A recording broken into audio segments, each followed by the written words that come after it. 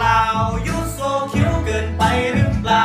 น้องน่ารักพี่เพิ่งเคยได้ข่าวแล้วพี่ก็รอนะน้องจะรักพี่ได้เปล่า น้องนั้น่ารักเกินเราที่พี่จะบรรยาย